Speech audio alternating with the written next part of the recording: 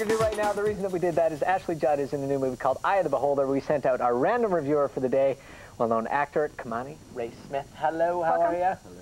Now make yourself at home. You know, we don't want you to be, Be uncomfortable comfy. on our set, and you know. Just chill. Very comfortable. No, All right. we went you to. Uh, we went. uh, Got you to go see. We went you to go see. Uh, Thank you, George wow. Bush. I appreciate that. Whoa, right back to last week.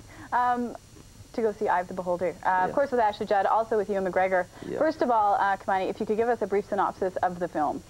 Uh, it's basically about uh, a British intelligence agent played by Ewan McGregor, who is the eye, and the beholder, I guess, is uh, Ashley Judd, who uh, The beholden. the beholden, yes, and uh, basically stalking her, surveillance, a lot of Good cool idea. gadgets. Yeah, uh, she's a serial killer and hustler. She Who is. is she? Nothing has changed. Nothing. Nothing at all. Oh my God. We're exactly the Ladies same. Ladies and gentlemen, Kimani Ray Smith is joining us l- 11 years later. Yes. That was That's actually right. in our Metrotown studios in the year 2000. Love that. Kimani is here once again to talk about a movie, this time uh, with actor Ryan Robbins. They uh, put together a wonderful little light-hearted love story called Suffer. How Yeah. are It's a lovely Excellent. story of boy meets girl. you? Kimani, Come on where did you find that tape?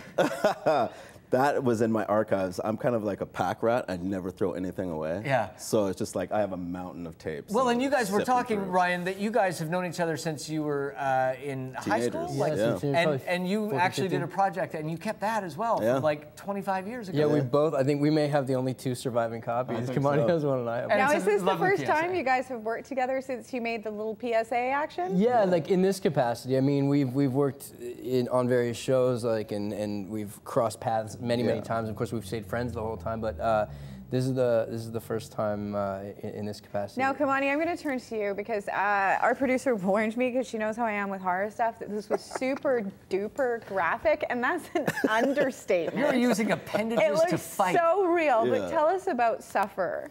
Uh, Suffer is about a kidnapped professional fighter, played by Ryan Robbins here. Um, he gets thrown into an underground fight tournament, and he loses that match and is presumed dead, and kind of wakes up in the horrors of Hell's Kitchen. It truly is the horrors of Hell's Kitchen. Now, Ryan, you really do uh, some fighting yourself. How was it shooting uh, these scenes here that we're watching? It was really fun for me, um, you know, especially because we had such a fantastic crew and, you know, Kimani uh, directing, and that's Big, Big Fraser right there. They all took really good care of me. He me. doesn't look that big. I had just, uh, right be- before we shot, about a week before that, I'd actually um, separated my shoulder. I guess it was maybe two weeks before that, I separated my shoulder. So we had to rework a couple of things here and there, and, uh, and- and it was fun, man. It was. I never get to play that. I mean, I've been uh, studying martial arts my whole life, and I actually never get to play fighters to actually very use often. it. Yeah. And the choreography in this is amazing. And Kimani, that's part of what you do as well, right? Yeah, I do stunt coordinating. Um, actually, we had a, a guy who choreographed this named Brian Ho. He was act- actually our editor, our uh, He was key missing camera. everything. Yeah, Yeah, he did yeah. everything. Color correction. How much, how much time do you guys spend working on this, Ryan? I mean, when you're doing a, a choreographed fight scene like that, how much time do you have to sort of put it all together? And We were really lucky to have some uh, rehearsal time. Yeah, we uh, had a which- day We had a, a full day rehearsal, which was great. And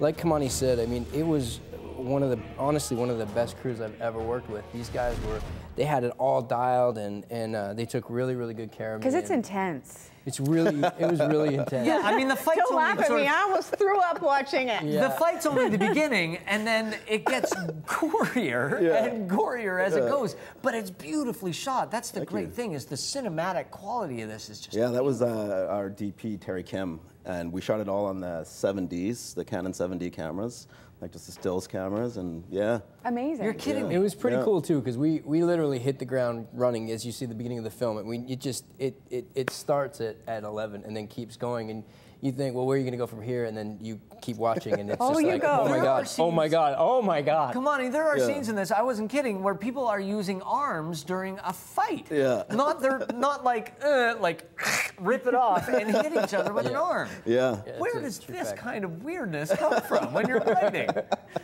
Uh, this is actually uh, kind of an adaptation of a script that we had called Evil Feed. Um, and it was all about a restaurant that kind of caters to uh, cannibals. Yeah. And they kidnap fighters to have uh, entertainment. We called it tendertainment. You can watch your meat being tenderized.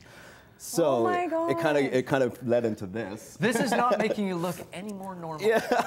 not, Okay. not well, we the wanted, you know what? We really wanted to do like a genre piece. It's Yeah. not a lot of genre comes out of Canada. You know what I Yeah. mean? So Absolutely. we really were wanted talking to do that. We were talking about that. that. this morning. That that it's really fun to see someone sort of stretch the envelope of, of what's being done here locally as well, Yeah. and kind of push that a little bit. Yeah. Absolutely. Uh, we're going to see a scene here, Ryan, uh, and uh, this is you. Did we already see it? No, wasn't paying attention. why? This is you um, finding out that you're not quite DEAD. Exactly. Yeah. This is. Uh, this is this is the moment of, uh, of, of, of awakening for me, so Yeah. to speak. That there's some real danger here, and uh, and for everyone else to realize that maybe they're uh, may, maybe the cow I thought this killed. was going to be veering towards the end of the film. no. Oh Here's no! the scene No, no, no! from you ain't seen nothing yet.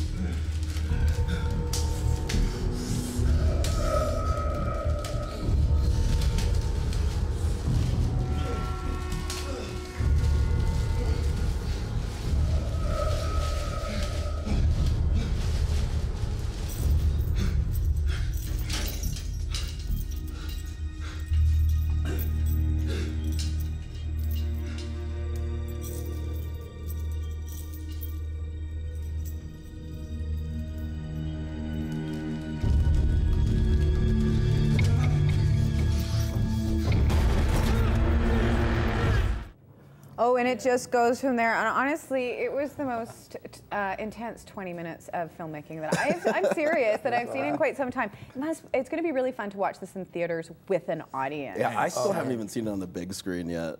And, I'm the, like and the super sound, excited. That, this sound, like even just watching that, just hearing the chains and the music. Yeah. a- that was actually probably one of the toughest scenes of the movie for me, to be honest. How Why? come? Because I'm I'm just moderately claustrophobic, and to be wrapped in a plastic bag, knowing that you have to like tear yourself out of it, So that actually gets a little bit of the and to take desperation. that to take that deep breath and just and have the, all that plastic bag. Oh, that would be like mouth. drowning. For me, it was like that was like well, they were there. He, and, well, come on, he knows, Yeah. right? He knew about it, Yeah. so they, they took really good care of me. But I was like, yeah. Oh, this this that was the scariest. Ryan, never come to my house on a Friday night. if that disturbs you. Par for the course. Just okay, so uh, Suffer is going to be screening at VIFF and also at VIFF. Uh, Ryan, a great film uh, that Yeah. Mike and I have had the chance to see everything and everyone. Tell us uh, about this movie. It's uh, a really fantastic movie. Uh, Tracy D. Smith uh, approached me with this film uh, and uh, said, uh, "So Gabrielle Rose is going to play your mom," and I was like, "Don't even want to see a script. I'm in. Yeah, What do you I'm want?" in. I'm in. And uh, it's an incredible cast: Chelah Horsdal and Chad Willett and uh, Lane Edwards, uh, Sean Michael Kyer. Great, great sort of ensemble piece about really love is. and Yeah. love and loss and determination and struggle, and, and Yeah. it's just Family. That's what yeah, it is. you like know, the universal family, you know, like Yeah. the family of friends and, and friends coming together. And uh, it was an absolute treat, you know, to be a part of that film. And I'm very proud of different for you from Suffer because no one gets eaten in everything. No, everyone. no Not one one gets person eaten. is eaten in that. Maybe a little bit in the end credits. We try to Yeah. throw Just, some just a little bit. Just, Just a little tiny bit. You Thanks guys, so much, you guys. That was a ride. I loved watching Okay, that film last uh, you can great. go to the VIFF website to find out the screening times of both Suffer and Everything and Everyone. Go see both of them. Yeah, absolutely awesome. We're going to take a break.